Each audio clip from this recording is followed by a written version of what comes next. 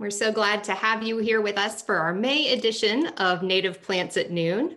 Uh, I have to share with you that one of our presenters texted me this morning and Alix says, we have a major problem with native plants at noon. Uh, so my blood pressure jumps and, you know, I'm going to have a heart attack.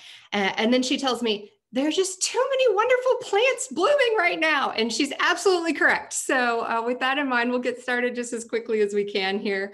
Um, if you have questions as we go along, please try to put those in the Q&A. Uh, I can find them a lot more easily that way. Uh, and either I can provide some answers or we'll get those to Alix and Cydney as we can between plants.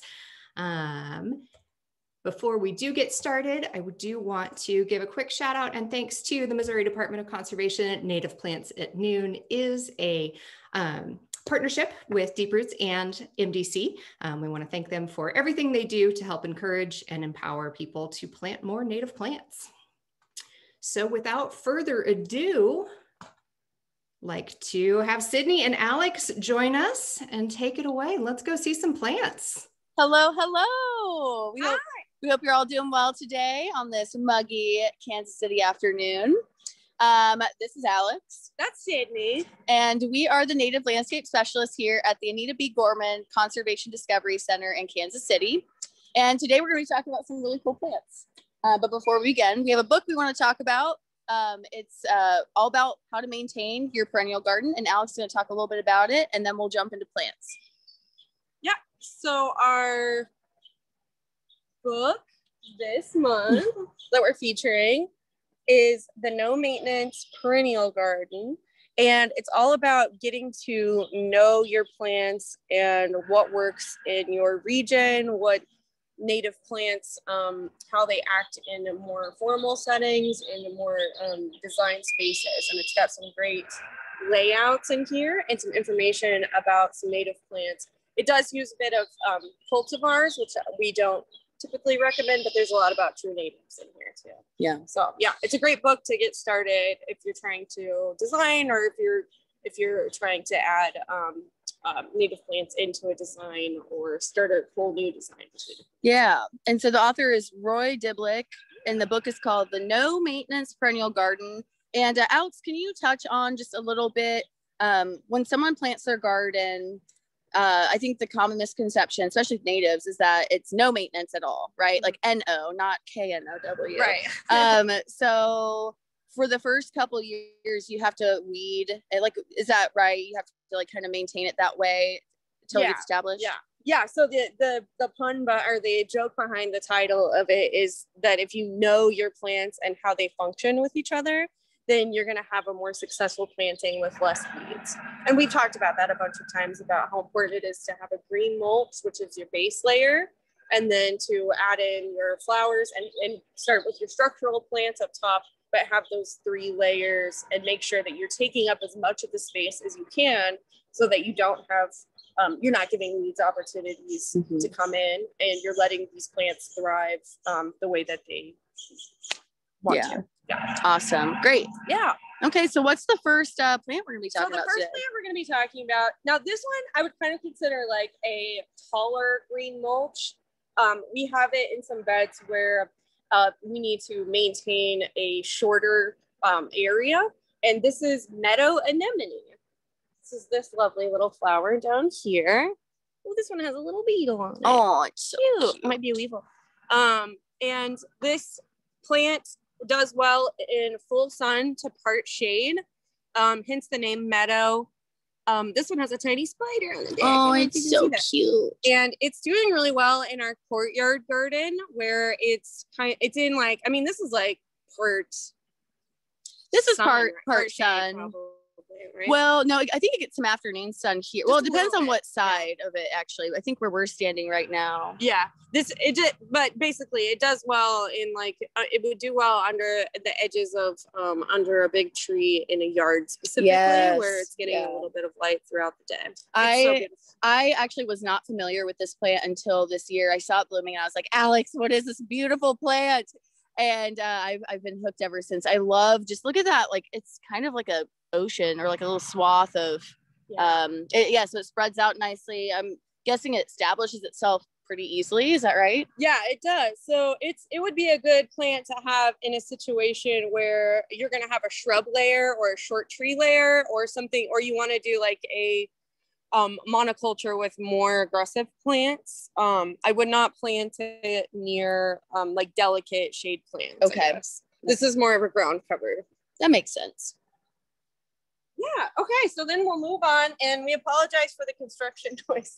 There's a jackhammer um, Doing its there thing. doing its thing. So we're gonna try to be very, very loud while we do this. Let us know if you can't hear us. Yeah. We will scream. We're hoping they would have gone to lunch at noon, but I guess not. So here we have some of our irises blooming, and we have several different native irises. Um, there we have southern in this bed we have southern blue flag, copper iris, and um, Shreve's iris. Shreve's, is that right? Shreve- Yeah. Shrevey eye. Trees. Yeah. Um, which is a new one to us. And- That's this one over here. It's so beautiful. It's a it's a bit brighter than the the southern blue flag. So These- yeah, what's kind of fun, can I touch on it real quick? What I told you yesterday. Yeah. Um, I, I saw this uh purple iris, the Shreve's iris here, and I was like, "Is this a hybrid between the southern blue flag and the copper?" And Alix like, "No, no, it's not." but you know, because those two color combos. Anyway, so what do we know about the Shreves? So iris? this, well, all of these irises are um, doing well in this. Um, uh, this is like our iris bed, and it's it's medium moisture and it's a little bit of shade, but they get they get quite a bit of sun here. Um, this I really like this one because it's got multiple uh, flowers per stem. Some of the other natives don't have as as prolific of blooms. This would be really lovely in like a mass planting. yeah. These are really good. All the irises are really good for rain garden situations, which is my favorite way to use them. And if you come to visit the Discovery Center, you'll have to check out our rain garden. We don't have time to go over there today, but it's it's blooming. It's looking beautiful. so good, It's very lush. and we really need like right now is a great time to figure out what your water situations are in Oh, your yeah. yard because of all the flooding that we're gonna have or we have had this weekend and we're gonna have coming up too and um, figure out where maybe you could fit in a rain garden or some water retention um, style gardens with these plants. So this is copper iris. This is the iris that we have most commonly here at the Discovery Center. And it does well here. It also does well in um, kind of a heat island over by the pavilion Oh, on the that's edge of a bed. Yeah. It unfortunately does not stand up to um, uh, competition very well. So they this bed kind of needs to be maintained a bit more delicately than some of our other beds. Um, but if you had the right combination of um, ground cover species and irises, that would work really well. Um, it can't compete with Blue Star yeah. specifically. Do we want to touch back on the blue flag or Oh yeah, you can show that one. Let's show it That's- one more yeah, time. same. so we have the copper. Yeah, copper. the Shreves, and then blue flag. Blue flag right here. So you can see Yeah, aren't how they beautiful. Look at the um. These I are the love it. nectar or the um pollen, the, the runways for the bees. it's a bee in here. fashion Isn't that show. so sweet? Everybody loves bee butts. yes, bee butts. All right. Okay. So now Cydney's gonna take over and do the next two species for us. Yeah. So we're gonna be talking about blue false indigo, um, eh, which is Baptisia australis. This is one of my favorite native plants. I've talked about it a lot. I always will. Um, so check this out. First, let's get kind of a view of the overall structure of this plant. This were like we did not prune this. This is just how this plant looks. It's very. This is a very mature plant. Um, how old do you think this one is? Do you know? I don't know. That one could be as old as for a long like yeah. That that's definitely mature size. Um, but then you can see these smaller ones here when they first start out. But they have this nice structure to them. Um, what's kind of cool about it, besides I think that the foliage and the flowers are gorgeous, but um, in the winter time, the leaves turn this like beautiful silvery charcoal color. I call it my goth baby because I just think it's so pretty. Um, it's kind of that like dark uh, leaf that hangs around in these great um, seed pods um, you know that just stands out in the wintertime next to all the browns and uh, red colors. So uh, but the nice thing about maintaining this plant i mentioned it's pretty low maintenance but at wintertime once the plant is done and if you don't want to leave it in your garden that's fine. You can just break it off at the stem. It just comes right off um, and it does grow grow back the next year. But the uh, specialized structure for this plant, why it does that, is it's one of Missouri's tumbleweeds. So the it breaks off and it, it can roll around, and that is how these seeds get germinated. They need to have like an abrasive surface to scarify them, um, and that's how the seed germinates. So that's why this plant will break off and go away, and then the next year it sprouts right back up. They kind of look like I think like hosta sprouts a little bit. I know hostas are not native, but when I first saw this coming back up, it's what kind of reminded me of. Um, but so is it what the in the flower? It's in the pea family, right? It is. Yeah, it's a legume. Um, and so you can tell it's got that pea. Like if you grow peas in your garden, um, you might notice the flowers look really similar. Um, and so it's kind of cool because bees have to force their way in here yeah, to get that's to the strong, nectar and the takes pollen. a strong bee to get into Yeah. that. really does yeah so they do force their way in to get the nectar and then they cover themselves in that uh, pollen to help pollinate this plant. Um, so again yeah the common name is blue false indigo and the latin name is uh, baptisia australis.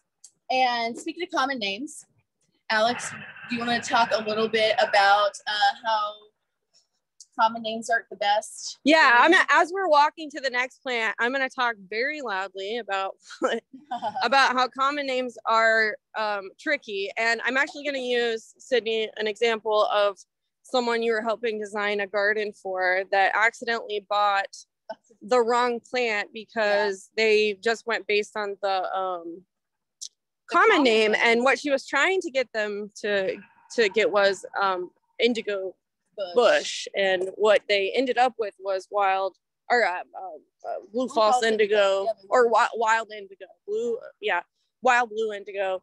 Um anyway common names are tricky. Oh indigo is a common name used for a lot of plants because they assumed or like thought that native americans used um, that as a blue dye it does not work it's, it's not it's not It's not.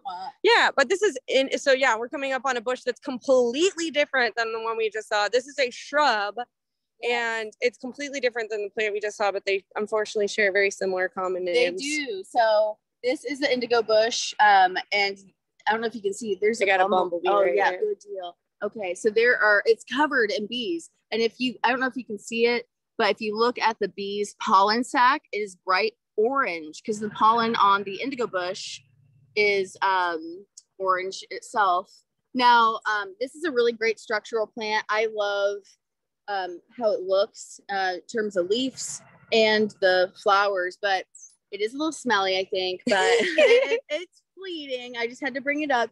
To me, it kind of smells like burnt rubber, but it's not that bad. I'm just being a little dramatic. I think it's an interesting smell. You should come down to the Discovery Center and give it a whiff. Give it a whiff. It's not a what you think. it's not sweet. It's not a sweet It's smelling not. flower. it- yeah, it's kind of a savory, like but the yeah, it's honeybees love it. They love it. And we're they're seeing bumblebees on it too, but unfortunately, a lot of these are the uh, we have European honeybees. local honeybee hive. So, but yeah, so you can see why that would be confusing um, for the common name because this is an entirely different plant than the blue false indigo uh, that we just showed a moment ago. Uh, this is a this is a small tree, um, and the unlike the other plant, which is you know it's a perennial um, forb that cut, goes away. So um, it's that's why it's really important to use the Latin names when you're buying a plant. Refer to that. You don't have to know Latin. You don't know. You don't have to memorize it necessarily, or even know how to pronounce it. I know I'm not great at that, but it does help you when you are trying to select the right plant for your property.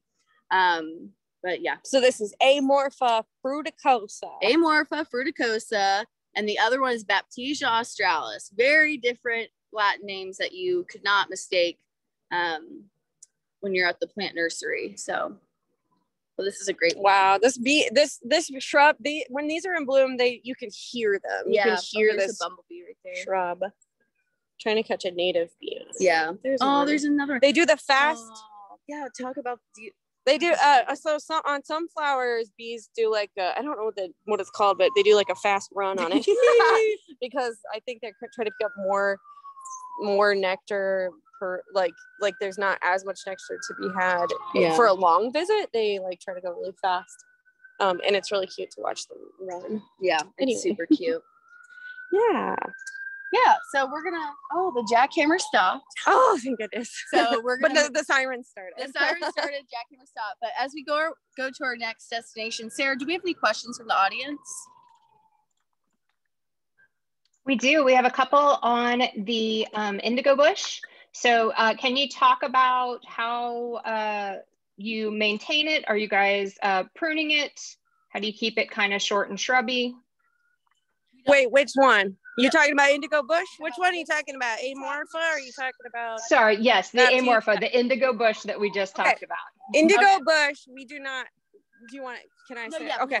Yeah. we don't um we don't uh prune it we do cut it back from some areas just like cut it to the ground but other than that it stays that height it's not very tall it, it gets like maximum here it probably gets six foot like there's one really tall one that's six Yeah. foot but that one's mature and it's like yeah Yeah. probably about six five and a half. not- six Yeah. So when I was helping this person with their landscape design, you know, the things I had read about indigo bush was that it gets up to 10 feet tall, but looking at the mature ones here, um, I don't see them getting that tall. And then they do get a little weighed down with the flowers, it looks like. Yeah. So maybe that also helps kind of keep the height in check. Yeah, they're not quite a fountain, but they definitely don't have foliage on the bottom. So the foliage is all towards the middle to top, and the flowers are at the ends. And so it's not like a bushy full, it's more of a structural, yeah. like I would you could plant stuff around the bottom of it because it's not taking up a bunch of space where the base of it is. yeah, I would agree with that.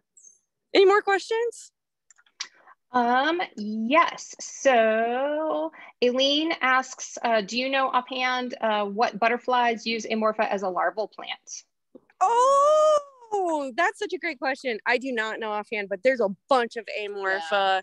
It's a host for a bunch of different plants. I know specifically there's a cute moth that it's Oh, a host for, but I cannot think of exactly which ones. I love Um, I love using the Xerces Society um, to find the uh, host, like the host relationships with um, these native plants. Yeah, were you saying And- that you can like type in the plant name? Yeah, and it'll and give you it'll tell you all the different types of larval hosts. yeah, and Heather Holm's book too that we spoke about earlier too. Yeah, in a past episode. Yeah. Um, Yeah. Yeah. No, I don't know off the top of my head either, but it's it's such a great thing to think about when you're planting. It's not just for aesthetics, right? We're planting uh, beyond ourselves and for ecological purpose. Um, this is habitat and food uh, for a lot of wildlife. Bugs are food. Baby, are baby food, moths yeah. and baby butterflies are bird food. Yeah. Without them, we have no birds, and Yeah. that's sad. That's true. Yeah. So that's a great question. Yeah. Yeah, I'll see Okay. if I can find a link and drop it into the chat. Uh, and then one last, uh, Dennis points out uh, that today is World Bee Day. So Oh, lovely. That's so thanks. Dennis. That's really nice. If we can find a native bee to show you, they're all the European I, honeybees. I know. Yeah, there's a hive like not far from It's at here. my house, It's at her house. in the backyard of the Discovery Uh, Center. Sorry, guys. Oh, But our our wildflower That's a beetle. honey tastes better than everybody else. Yeah, I bet it does. um we'll find it we have tons of native bees here tons i say um but they're just uh, not quite as Well, so active today of bugs, should we show them this kind of cool thing? What do you think? Yeah we'll show this real quick. Do you want me to talk Yeah. about it? Okay. Um so this is a plant called cup plant which we'll show you when it blooms too but this is just so cool to, to see. Okay so these are aphids. Right here they're doing the little aphid dance. Gosh that won't focus. And I can't remember, is this the native aphid or are these non-native? this i think these are native aphids. The ones that we have that are the non-natives are the um, Right. oleander the yeah the Can you please look at this one because it's just so cool. look at these! Isn't that crazy? They're dancing. They're dancing. dancing. It's pretty neat. And it's not actually harming the plant. Like the plant will bounce back from this, correct? Yeah, the plants. This plant will be fine. Yeah. Some other plants that might Yeah. be more delicate Yeah. would have a hard time with um aphids. But yeah, we we do have to fight aphids on our like marsh milkweed, which like I go to great lengths to try and keep the aphids off of those, like extreme lengths, like wiping them off of those plants. But most of our other plants can totally handle Yeah. aphid stuff. All right, um, we're gonna do a little quick handoff here because we want to talk about um, a really special couple plants. You're not gonna believe this, or maybe you do because you know you're here and you love native plants. But did you know Missouri has um, a couple different kinds of native honeysuckle?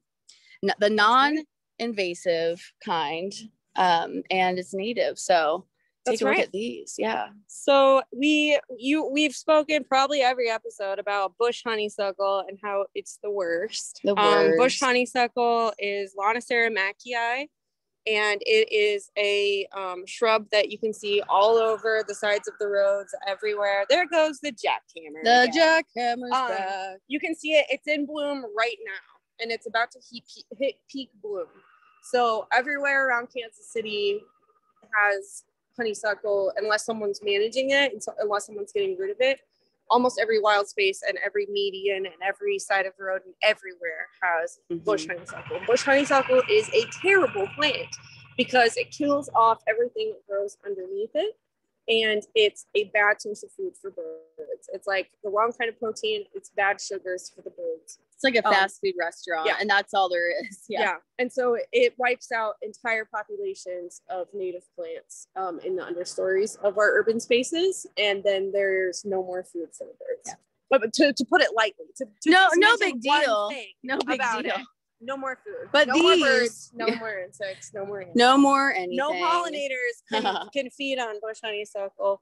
Um, but, But, we yeah. have a few native honeysuckles. If you're looking to pull your honeysuckle out, which please do, and you want to replace it with something else, A climbing vine, yes. So this this these two honeysuckles are vining honeysuckles. Although this one kind of the yellow one kind Like of mounds. form to the back of it here. So this is coral honeysuckle, the red one, and it is a hummingbird magnet. Yeah. If you sit still, which I can't do very often, like sit still and not scream. She really can't. out here Neither can I, though. while. What am I talking about? Neither can I. if you sit on a rock in the Prairie Plaza and just watch this um, fort structure, there will be hummingbirds showing up um, quickly. They come and they're, they're they're eating and hanging out on all of these honeysuckles. So that's coral honeysuckle, and this one is yellow honeysuckle. And can you get a shot of this leaf? It Isn't is so cool. These I I don't know if I've seen other plants with this leaf. So and what what is what is that like type of leaf called? Do you remember? Oh. put you on the spot. I can't remember oh what it's no, called. it's not sessile. It's, not um, sessile, but um, it's yeah. Oh, that no, I leaf structure in itself is so beautiful. It's like an It really is. umbrella, and um, yeah. So this is the like yellow collar. honeysuckle. Yeah, Yeah, it is yellow. like a collar. You know, it reminds me of those like um when King. What was it? Those um Oh, ruffs. like a- it's a ruff. It looks like a ruff. Oh boy. Yeah, so this is Lonicera flava, and this one, the coral honeysuckle of Lonicera sempervirens. And these both have um, sempervirens more so is a um, is uh, is more of an evergreen. It's green. Its leaves will start being green sooner and stay green longer than a lot of other plants. That's another reason why bush honeysuckle is planted is because it's nearly evergreen. It only Yeah. goes dormant for a couple of months in the winter. So if And that's what you're looking first thing to for, green yeah, yeah. Um, So- so I will say that um, you do have to have a trellis or some kind of um, structure to hold these vines. These are very mature. In fact, I think we need to. We'll be like try, uh, trimming these back a little bit. Yeah, we um uh lesson learned. We also had planted Dutchman's pipevine on this um structure. Oh, it's still there. Is it still there? Oh my gosh, look, it's right there. Um, I have yet to see the Dutchman's pipevine flower. Wouldn't that be cool if I found a flower of it Oh, while so we're cool. on face?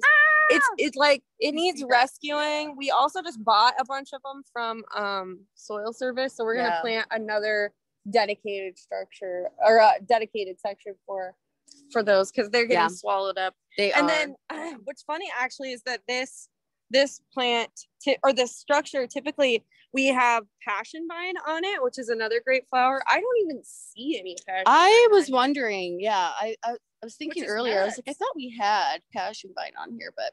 It so here's this cute up. little teepee shaped structure uh kids and people love to go in there and uh hang out. It's pretty sweet. So next time you're here definitely take a take a moment sit inside the the honeysuckle structure. It's kind of nice. Yeah. Um but yeah so th- those are kind of the plants we wanted to talk about today. Is there any last things we want to add to talk about honeysuckle alix? I don't think so. I um there's um if well if you're if you think about like alternatives to bush honeysuckle because i know i talked about getting rid of that. If you want to try to pla- replace that um then i would go with one of our native shrubs like perhaps nine bark yeah that would be a good one is really cute. and it's blooming right now. It has white flower and it's really beautiful and has a nice form. And it's about the same size as a bush honeysuckle. Sweet. Okay, so Yeah. we're gonna set this up, Sarah. I know we're getting close on time. Do we have any other questions that we can answer before we wrap it up? Yes, there are a few. Um, would you compare? Let's see. Um, Pat would like to know: Is there one honeysuckle native that's more fragrant than the other? That's a great question. Um, I, Let me go I- smell. I- yeah, will you go smell? I haven't noticed um, the fragrance on these two being mu- being very strong. That is unfortunately one of the nice things about the bush honeysuckle, and one of the reasons why people planted it so prolifically is because it does smell amazing. No, Are you getting anything? I'm here to report back that they don't really. They smell. I mean, it's subtle, but it's not as fragrant. But, yeah. you know, here's one thing you could do um, uh, with the invasive honeysuckle is cut off the flowers. Yes, go cut them right now. cut them now because if you do that you're going to prevent the berries from forming uh don't we don't really uh promote cutting the branches when there's berries on them because then you're spreading seed um you know because I, I actually brought that up like why don't we use that as decoration in wintertime and alix was like well you know that's a good in theory but then we're spreading more of this invasive species but Yeah. cut the flowers put in a bouquet Yeah. smells good and you're doing Yeah. uh, the environment a service so And they're edible too. There's tons of recipes out there for honeysuckle stuff. nectar Things you can make. simple syrup Simple syrup. Um, you can make wine out of them. Um, maybe even a jelly. I bet I would take a I lot of honeysuckles, but I remember as a kid, you know, because this stuff is everywhere. Like it lines all the. I used to hang out like in the waterways and look at the plants and the animals and stuff, and I would take the flowers off the honeysuckle and just kind of yeah drink the nectar. So, Yep. So that that's fun. Have your kids do more of that. That's what we were talking Yeah. about. We were like, let's set the kids on the honeysuckle. Like, Yes. touch, Yeah. show- make sure they all know the honeysuckle trick, how to get the nectar out, Mhm. and then set them loose on And the then course. chop them down. Eat chop all down the flowers. Yeah. Awesome. Um, so as you're cutting down your shrub honeysuckle, can you keep the limbs to build structures uh, similar to the TP behind you, or should those be hauled away? you can use the limbs to make structures. Do not use the limbs in a brush pile or make don't make mulch out of it, I guess. You can put it in a brush pile, but know that like everything that is that brush pile is used for and everything underneath it is probably going to die. Yeah. But that's typically how brush piles are anyway. I don't I don't mind. You can burn it. It burns really I was gonna say I like it as a bonfire Me too. material. I mean, who doesn't But there, like but, there, I guess there wouldn't be any harm using it for a Like, structure. yeah. But it also is not very, unless you have like a very, very old one. They can get bigger when they're very old. Yeah, I saw um one of my friends cut down a honeysuckle and the trunk was this big. I need to show you a photo of that. It was crazy. You just don't want to mulch. You don't because of the toxins basically Mhm. in it that make it allelopathic. You don't want to mulch and add it into your other gardens. great question. Great question. All right, let's do one more. Um, Ashley says aphids have been all over my cone flowers. Um, Is that a plant that can handle it, or um, what should she do about that? Yeah, coneflower can definitely handle it. I'm really like the only one I'm really thinking of is the swamp milkweed, which is so delicate, and we only have like four of them because Yeah. we suck at keeping them alive, I guess. And they, they, yeah, they just don't like our situation Right. here, and and then they're suffering further from the aphids, so that's extreme. I, Yeah. I, we don't worry about aphids on any of our other No, stuff. but what if it's a really young, like maybe they just got a like a seedling, like one of the ones we we grew. What Uh-huh. if that's covered in aphids? I mean, technically, okay, the situation I could see happening is if the aphids kill off the seedling, you're still gonna have the root system probably, Hmm. and probably the leaves are gonna be able to recover from that. Maybe not on like a tiny seedling, Right. but the aphids would then kill off their food source and then they would die. So Yeah. Lose lose for them. it's all biodiversity you- is really important. Let me just Yeah. say, in aphid control, the more insects you can get coming to your garden, the more types of flowers, the more types of shelter you have for insects, the less your aphids are going to be an issue because you're going to have people or people, insects, Insects. specifically, uh, and and birds coming to eat them. Um, if you have a small plant that you're concerned about, what is a friendly way to remove aphids that won't harm, say, your monarch caterpillars or other species that are coming to use the plant? Oh, squish it. take your Spray finger, 'em, rub very 'em. gently. If you It's rub disgusting. 'em, you don't have they to use your die. fingers. Yeah, but you could just take like a, a damp uh, paper towel, wipe them off. Yeah, I would Um, not spray anything. If you have cats on there for specifically, like at the time, I wouldn't Caterpillars. They, Caterpillars. The, caterpillars can I was thinking Sorry, cats. Yeah. Yeah. what the, the um uh caterpillars can coexist with aphids on milkweed, no problem. Like on our other milkweeds, they're fine together. Uh, if it's a tiny plant though, and you're like desperate to save it, just wipe them off. just wipe them. we use neem oil in the greenhouse, but that's before they get if that if we do end up getting aphids in the greenhouse, we do use neem oil, which I think is more organic than other Yeah. kinds of pesticides. Have you found if you've heard like the dish soap solution thing? Have you found that even works? That'll kill your caterpillar too. so Oh, it doesn't yeah, that's matter. Right. Yeah. Yeah. But what if there's no caterpillars on it? Yeah, that's That probably too, yeah. Fine. Rub rub Epsom salt or apple cider vinegar on your plants, whatever you. Take Whatever cotton you gotta ball, do. little dab. dude. Yeah, but seriously, if you just take the leaves between your hand and go like this, Have your kids do it. Maybe they like squishing bugs. we're all about kids doing most of the work. Yeah. You know, get the kids involved any way we can. But don't smash other All right. bugs. No, yeah, bugs are really important. They're remember they're bird food. We need them. We need them. We need without bugs, we would not uh, exist. So, anyway, Excellent. Thank you. Um, all right. I think that's all the time that we have for questions today. So Alix and Sid- Cydney, thank you so much. Um, I'm going to put up some information here. great. And we will dance and distract you while you talk about that.